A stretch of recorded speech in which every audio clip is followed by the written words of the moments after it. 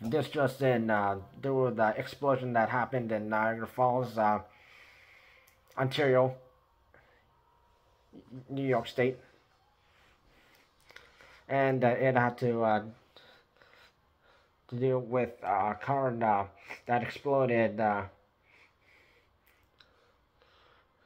by striking uh,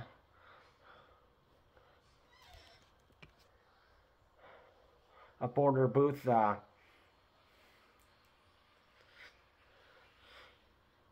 so the driver and the passenger, they were in uh, the New York State side of the border, the U.S. side.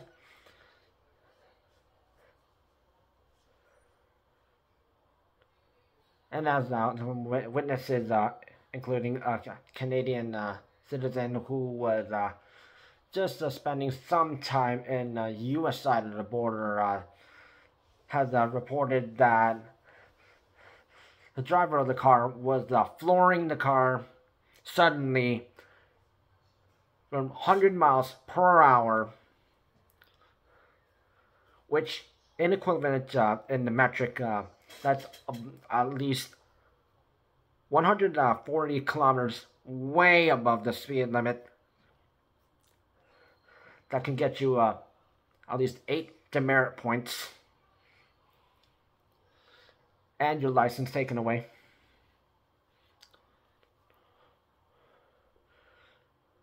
The car uh, struck uh,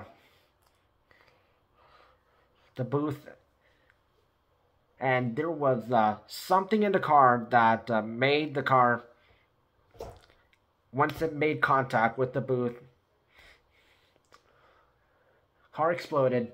The parts uh, went up in the air, and the other parts uh, they exploded, uh, which blocked all 13 booths, uh,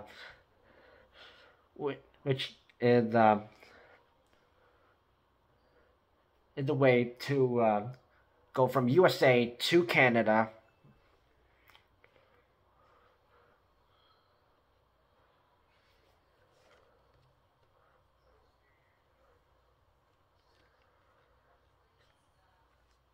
the driver and the passenger, uh, they uh, were killed. Uh,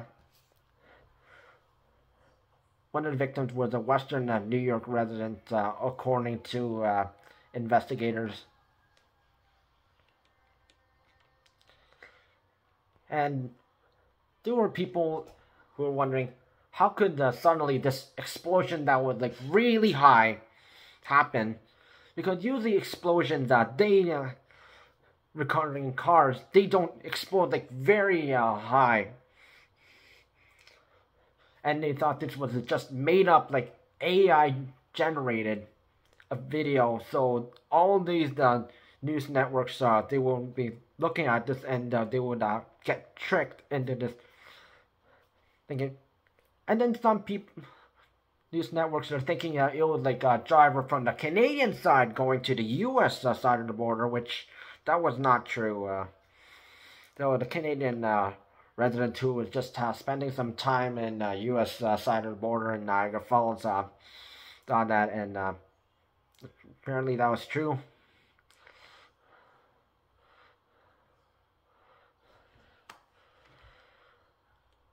One uh, booth uh, agent uh, was uh, injured uh, and uh, was taken to the hospital. that the agent was released later in the day. so that booth agent only come to like minor injuries.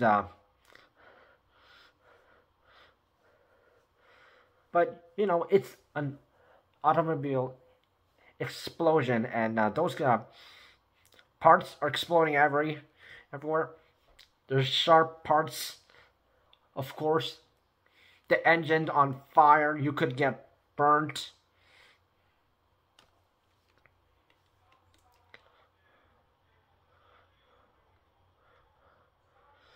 And due to the debris, uh, the license plate of the car was uh, so burnt that uh, they could not uh, read the New York State uh, license plate. Investigators uh, were uh, looking around uh, the scene, and there was like some sort of suitcase or briefcase on the scene, uh, and uh, the bomb squad had to be called in, uh, and they were checking if this sort of suitcase or briefcase was did it, did they have like a, a bomb or explosive in it. also, that could also be tied into or that was the reason. Uh, and there were people who were thinking, uh, suddenly, how come this car would uh, suddenly just straight uh, drive into this booth and uh, suddenly, like a suicide attempt? Uh,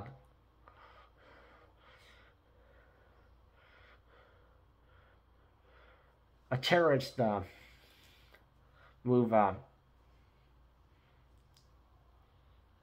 As you know, the Israel-Palestine uh, wars are still going on in the Middle East. And some people uh, try to uh, tie to that, and it, it, it doesn't have to do with that. And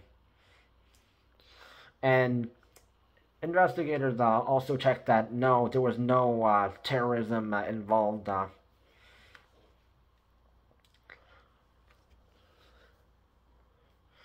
and as you uh, know, uh, if you or drive a car, sometimes uh, your uh, your brake or uh, accelerator sometimes gets stuck, and you got to make sure uh, you you uh, get your car to the side off to the right side of the road. Uh, so uh, and then cars can just pass by, and then you can call nine one one.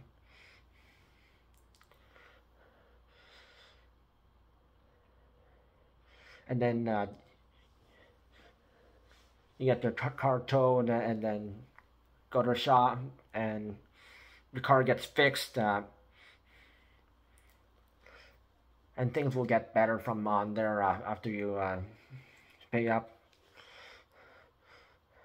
for any uh, problems with the car that needs to be fixed.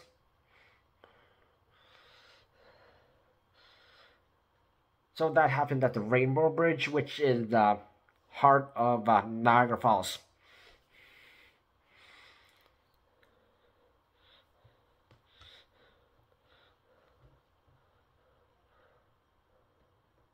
But uh, since uh, they were thinking uh, this has to be like a terrorist thing, uh, the Queenston Lewiston uh, border crossing, crossing, which is the northern uh, border crossing in the Niagara area, of Ontario and uh, New York State.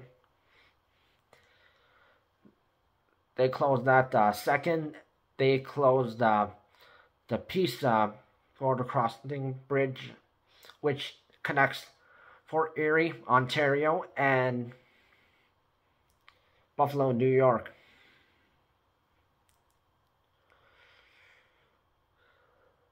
They opened uh, the uh, bridge uh, border crossing. So uh, a lot of uh, people who are crossing the, the border at the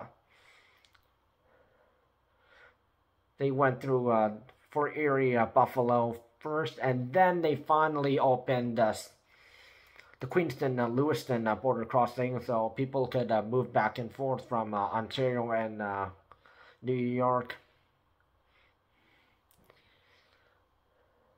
They still have uh, not opened the Rainbow Bridge, or also named known as the Whirlpool Rapids uh, Bridge, uh, because uh, right below, just a few um, meters away, is like the rapids uh, of the the, the Niagara River.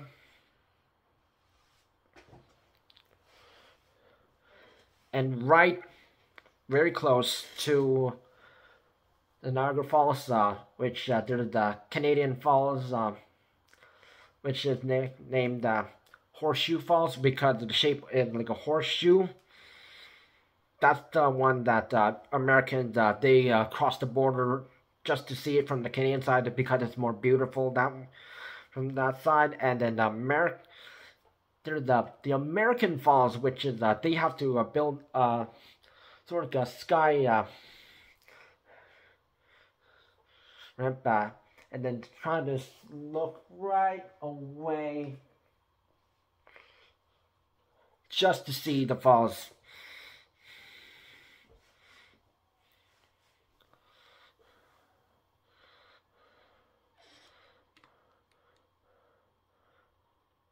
Ron uh, uh, the general manager of the Buffalo and Fort Erie Public uh, Bridge and Authority, uh,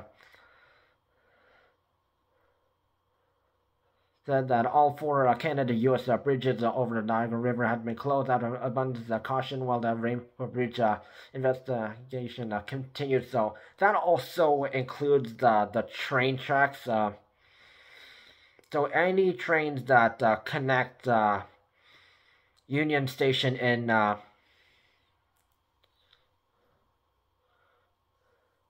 in uh, downtown Toronto, all and on the Maple Leaf route.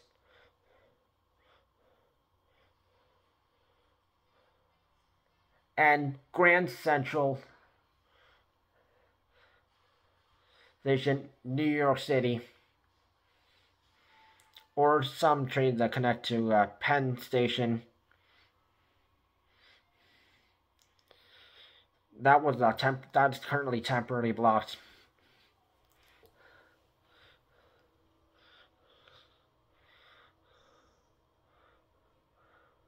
So, due to extreme measures and uh, they think it has, they think some terrorism in, is involved. Uh, maybe not now, but maybe later.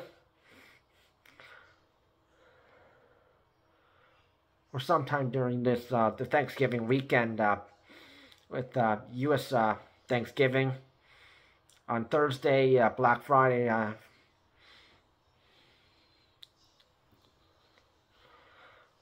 President Joe Biden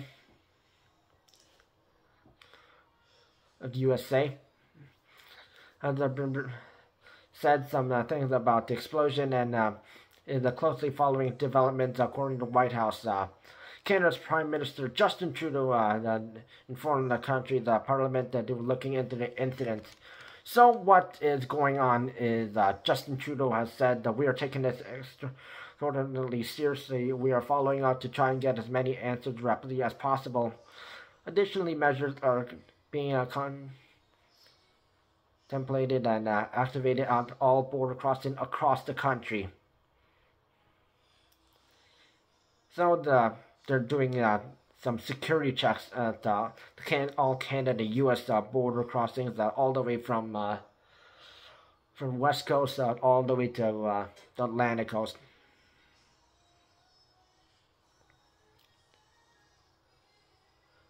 U.S. is the security of uh, Homeland Security. Alejandro uh, Mayorkas uh, posted a statement on X, uh, formerly Twitter, also uh, reiterating uh, that the incident does not appear to be terror-related. So that is a confirmation that this is not a terrorist uh, attack but, well, while he uh, said uh, we will uh, continue to closely uh, coordinate with the states and uh, local officials. Uh, in Toronto, the police department has said it's increasing patrols out of an abundance of caution. And in New York City, Mayor Eric Adams said he's also monitoring the incidents.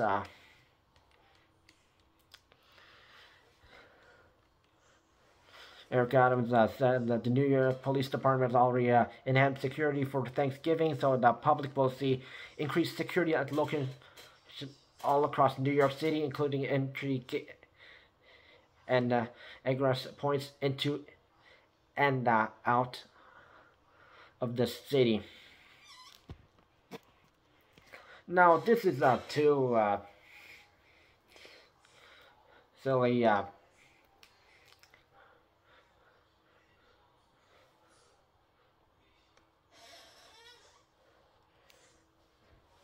and it uh, means that uh, people who are driving really need to uh, be careful with uh, the driving. Uh,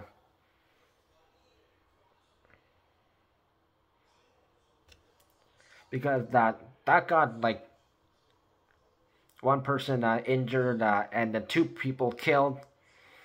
Possibly other people may have been injured. We just haven't heard of it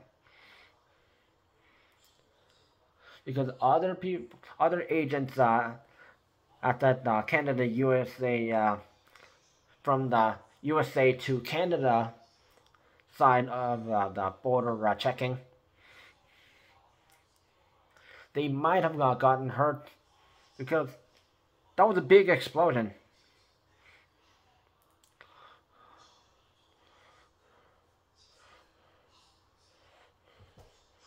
But this happened in uh, the Niagara Park, and uh, this has uh, nothing to do with uh, New York City or Toronto.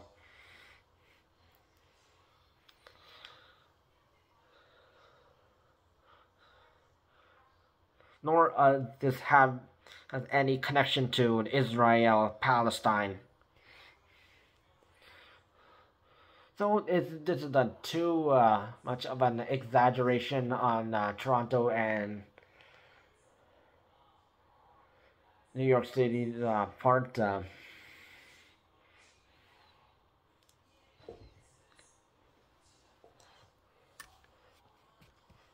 it's a big scare for uh,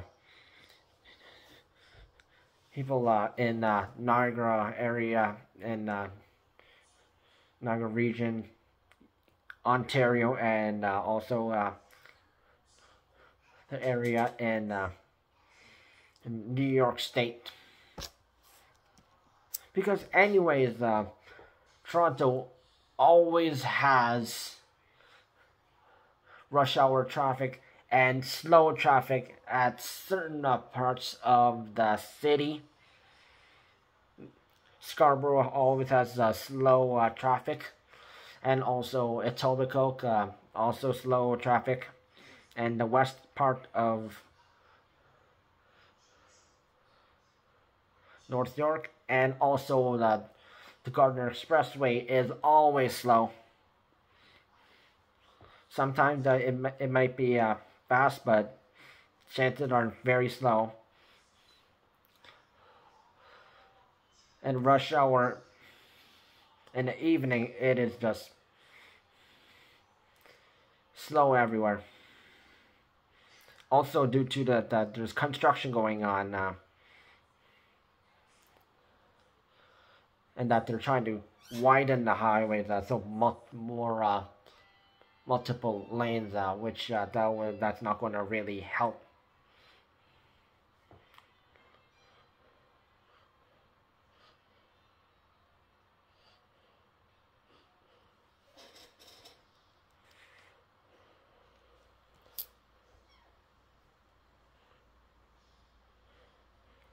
And New York City should uh, just be focusing on their Macy's uh, sponsored uh, parade.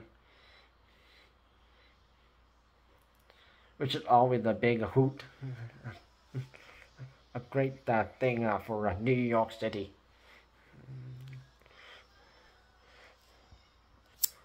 No one's going to be crashing into traffic in the Lincoln Tunnel or like any other the bridges or other tunnels.